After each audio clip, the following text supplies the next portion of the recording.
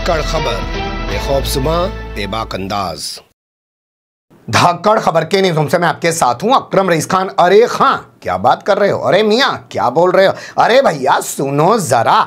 A I M I M एक political party है और हमारा काम चुनाव लड़ना ही है। कोई कारोबार थोड़ी कर रहे हैं हम लोग। और अगर हम देश के अलग अलग राज्यों में जाकर चुनाव लड़ रहे हैं तो क्या कोई जुल्म कर रहे हैं? बाकी पार्टियाँ भी तो देश के बहुत सारे राज्यों में चुनाव लड़ती हैं। जैसे वो अपना विस्तार कर रहे हैं, वैसे ही हम भी अपनी पार्टी को बढ़ाने का काम कर रहे हैं। हम अपनी पार्टी को मुसलमानों की एक राजनीतिक आवाज़ बनाना चाहते हैं। कुछ इसी तरह के अंदाज में इन्हीं शब्दों के साथ असदुद्दीन ओवैसी उन सवालों का जवाब देते हुए यदा कदा दिखाई दे जाते हैं जब पत्रकार उनसे पूछ बैठते हैं कि भैया, एक बात बताओ, तेलंगाना में सिर्फ़ आठ सीटों पर लड़ते हो और इसके अलावा पूरे देश में घूम घूम कर चुनाव लड़ रहे हो सैकड़ों सीटों पर।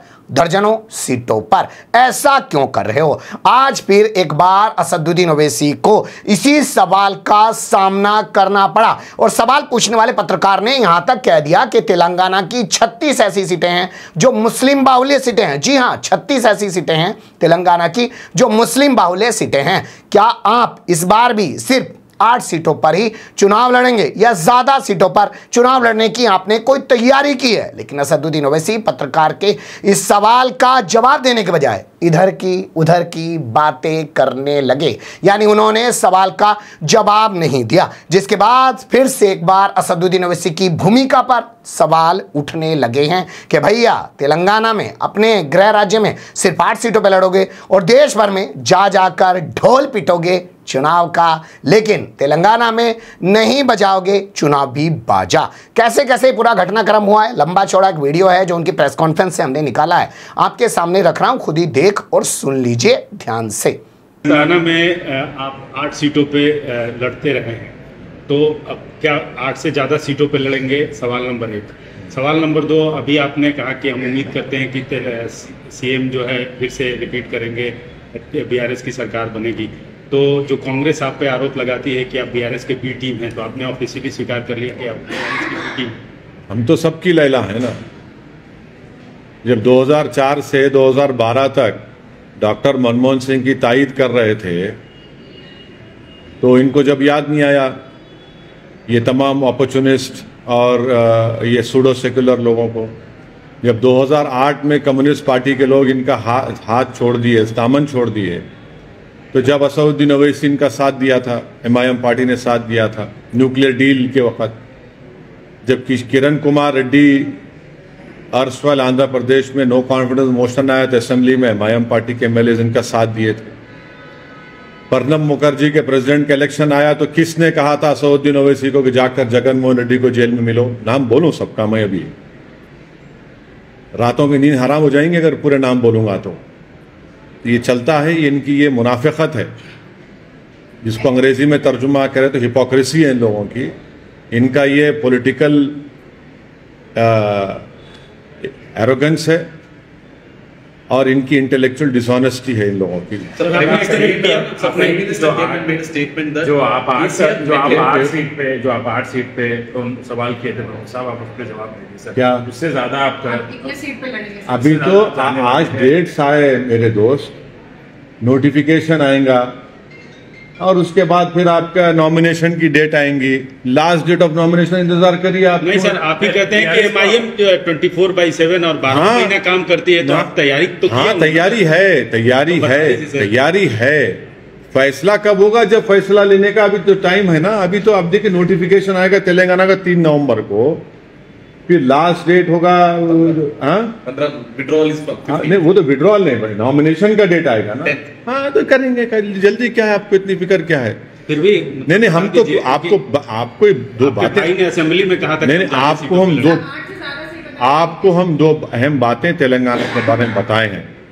नंबर वन जहाँ कहीं से भी एमआईएम पार्टी का कैंडिडेट लड़ेगा हम तेलंगाना की आवाम से ये अपील कर चुके हैं कर रहे हैं कि आप एमआईएम पार्टी के कैंडिडेट्स को 30 नवंबर के दिन पतंग के निशान पर बटन दबाकर कामयाब करिए।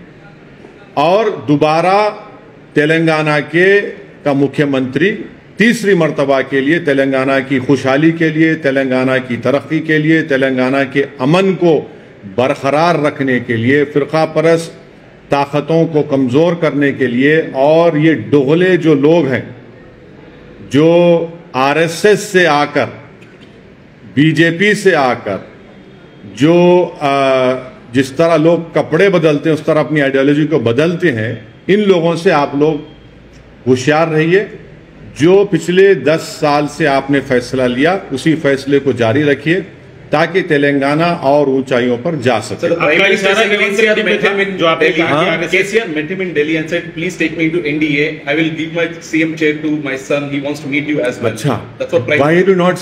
Prime minister also said that K C R gave money to Congress in Karnataka आदि बात नहीं खाना आप लोग। बोले ना प्रधानमंत्री भी बोले ना। तो अब आप बोलिए अब आप बोलिए सच्चाई क्या है? एक तरफ़ केसीआर पैसे भी दे रहा कांग्रेस को। पैसे दिए ना करना। अब, अब सच्चाई क्या है बोलो आप?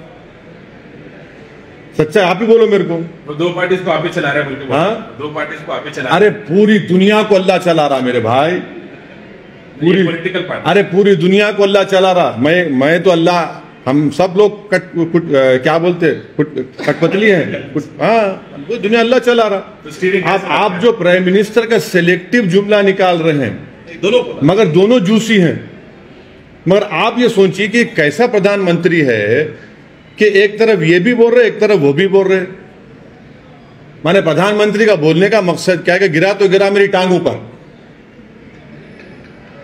वो मतलब है उनका। अब आप बोलिए कि मेरे से आके मिले और फिर कांग्रेस को पैसे भी दे रहे। प्रधानमंत्री खुद एक चीज़ को पकड़ लेना। और अगर कोई कांग्रेस से लोग बोले बोले बोले तो फिर ये भी बोले अगर वो सच बोल रहे तो कई बातें सच निकल जाएँगी फिर आप लड़ ही नहीं सकेंगे सकेंगे मोदी से। आपने कहा कि आरएसएस से और दूसरी पार्टियों से हाँ। आके चोला बदल के कर रहे आपका इशारा रेवंत रेड्डी की तरफ़ बिल्कुल बिल्कुल मैं तो खुलेआम बोल चुका हूँ। 1999 के असेंबली इलेक्शन में जब हमारे लेट मरूम सैयद सज्जाद साहब इलेक्शन लड़ रहे थे जनाब किशन रेड्डी बीजेपी के कैंडिडेट थे मैंने अपनी आँखों से देखा है उसको किशन रेड्डी के साथ। काम करते हैं बीजेपी का। क्या बात कर रहे हैं? वो बोल रहे मैं विद्यार्थी परिषद अरे मैं देखा हूँ अरे मैं मैं देखा हूँ ना। वो कह रहे मैं बीजेपी में नहीं अरे कैसा नहीं थे? अरे मैं देखा हूँ दो जगह पे देखा हूँ। नॉमिनेशन फॉर्म किशन रेड्डी डालने आए थे खैरताबाद में ऑफ़िस था आर का। फिर गुडी मलकापुर मार्केट जो उस वक्त कारवान कैसा था मैं देखा हूँ। माने ये ऐसा है ना कि ये दो पार्टी बीजेपी और कांग्रेस जो है आप देखते होंगे गाँव में या शहरों में हर कोर्ट के सामने एक बेचारा एक बैठता है कुर्सी टेबल डाल के। आइए हम नोटरी कर देंगे। आ जाइए ना। आ जाइए नोटरी कर देंगे। ये दोनों बैठे नोटरी दुकान में और बोलते जबान निकालो आ लगाओ सेकुलर आ तुम नेशनलिस्ट। ये कब तक चलेगा ये ड्रामा ये ये दोनों बैठे हैं दुकान डाल के। इनका मामला वही है। अब भाई जो अब आप बताइए जो बीजेपी से आ रहा है वो हमको कह रहा है कि हम हैदराबाद के नहीं, महाराष्ट्र के हैं। अरे भैया, तू तो बात कर रहा है गोलवालकर की जबान में। तुम बात कर रहे हो दीनदयाल उपाध्याय की जबान में। तुम बात कर रहे हो राजू भैया की जबान में। तुम बात कर रहे हो प्रेजेंट सरसंचालक की जबान में। तुम वो पूरी किताबों का निचोड़ हो तुम, जो आरएसएस के लोगों ने लिखी है। आरएसएस भी तो यही कहती है कि यहाँ के नहीं है ये लोग। वो जबान में बात कर रहे हैं और कांग्रेस पार्टी में है वो। सर आप- आप- आपने कहा कि केसीआर फिर से मुख्यमंत्री बनेंगे और ये है तमाम बातें कहीं। तो क्या आप उनके लिए कैंपेनिंग भी करेंगे उनको सपोर्ट करेंगे इस चुनाव में? देखिए देखिए हमारा हम तो पब्लिकली ये बात को कह चुके हैं मगर हमारी प्रायोरिटी होगी अपनी पार्टी के कैंडिडेट्स के लिए। पहले हम उसके लिए काम करेंगे। नहीं दीगर सर, दीगर आपके- दीगर सर आपके जो फ्लोर लीडर है और आपके भाई भी है उन्होंने सोनिया गांधी के ओरिजिन पे क्वेश्चन किया। हमारा क्वेश्चन किया जा रहा है कि कहाँ के हम तो हिंदुस्तान के हैं हमारे परदादा हिंदुस्तान के हैं। हम कहीं नहीं नहीं हमारे परदादा हिंदुस्तान के नहीं है। हमारा हमारा मानना यह है कि जब अल्लाह सुबहाना व ताला ने बाबा आदम सलाम को जब दुनिया में भेजा जन्नत से तो उनका पहला कदम यहाँ पर था। हाँ हमारा वहाँ से शुरू हो रहा मामला। हमारा वहाँ से शुरू हो रहा। आप क्यों आप दादा परदादा पे जा रहे हो? वहाँ से शुरू हो रहा। हाँ सर सोनिया गांधी हाँ, चलो, बोल। सोनिया गांधी के सर क्या आ, आप राजस्थान मध्य प्रदेश और छत्तीसगढ़ में कैंपेन करने जाएँगे? राजस्थान में आपके कैंडिडेट राजस्थान में तो जाना ही जाएँगे। हमारे कैंडिडेट्स हैं वहाँ पर कैंपेन करेंगे। क्योंकि सात दिन पहले राजस्थान में है। फिर उसके बाद मैंने इक्कीस तारीख को कैंपेन खत्म होगा राजस्थान में। और तेलंगाना में खत्म हो जाएगा अट्ठाईस को। तो दोनों जगह सर जाएँगे। मध्य प्रदेश के बारे में आपने नहीं अभी हम बात करके बताएँगे एक दो दिन में बता देंगे आप। सर आप तेलंगाना में 26 ऐसे असेंबली कॉन्स्टिट्यूंसीज है जिसमें माइनॉरिटी वोट जो है बहुत इम्पोर्टेंट रोल प्ले करता है और नहीं नहीं तेलंगाना में हर वोट इंपॉर्टेंट है। माइनॉरिटी है हिंदू में हिंदू वोट में अपर कास्ट का इम्पोर्टेंट है चाहे वो ब्राह्मण हो। चाहे हमारे कम्मा भाई हो, वेलमा हो, रेड्डी हो, ओबीसीज में मुनूर कापू हो, मुदिराज हो, गौड़ हो, यादवाज हो, पद्मशाली हो, दलित में माला माडिगा है, सबको वोट डालने का है और सब मिलके मुझे यकीन है यकीन है कि जो 10 साल में तेलंगाना जो प्रोग्रेस कर रहा है हाँ कमजोरियाँ हैं, इसमें कोई इनकार नहीं कर सकता, मगर एक विजिबल डेवलपमेंट तेलंगाना में नज़र आता है। और सबसे बड़ी अहम बात यह है कि एक लैंडलॉक्ड एरिया में हैदराबाद के अतराफ में डेवलपमेंट हो रहा है और पीसफुल तरीके से। आज आप देखिए कि मुस्लिम समाज आगे आकर कहा कि हम अपनी मीलाद की रैली को तीन दिन बाद कर लेंगे। ये पूरी, हमने बल्कि, ना सिर्फ़ तेलंगाना, बल्कि यहाँ के मुसलमानों ने पूरी देश को एक राह दिखाई। और जब ये फैसला यहाँ पर लिया गया, सब जगह पर लोग ऐसा लिए फैसला। ये बहुत बड़ा डेवलपमेंट है। सर आप पूरी सवाल नहीं सुने। ये जो 26 असेंबली कॉन्स्टिट्यूंसीज है जहाँ पे डिसाइडिंग फैक्टर बोला जाता है तो आपको आप मैं आपको क्या कह रहा हूँ? 119 पे इलेक्शन हो रहा है पे नहीं हो रहा। आप- आप- नहीं नहीं आप मैं समझ गया आप क्या बोलना चाह रहे ये को सपोर्ट करने के नहीं सुनिए। नहीं नहीं ये अरे आप बोल दिया ना अभी और क्या बोलूँ तुम्हारे? छब्बीस पे मैं तो आप अरे बाबू मैं क्या बोला हूँ सुनो तुम। तुम वो रिवाइंड करके देख लो।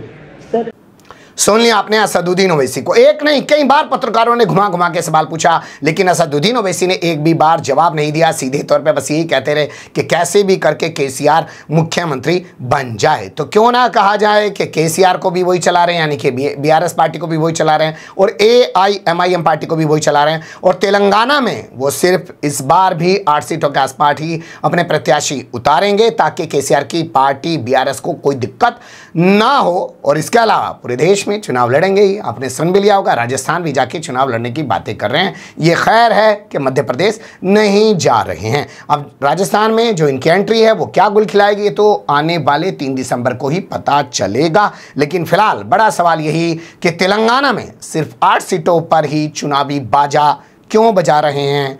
असदुद्दीन ओवैसी पूरे देश में जिस तरीके से वो चुनावी ढोल पीटते हैं, वैसा क्यों नहीं कर रहे हैं? कमेंट्स के रूप में आप लोग अपनी राय दे सकते हैं, खबर को लाइक कर सकते हैं, चैनल को सब्सक्राइब कर सकते हैं और ज़्यादा से ज़्यादा हमारी खबरों को शेयर कर सकते हैं। फिर ऐसे ही किसी सुलगते हुए उलझते मुद्दे लेकर मैं आपके सामने हूँगा हाजिर। फ़िलहाल अभी मुझे दें इजाज़त।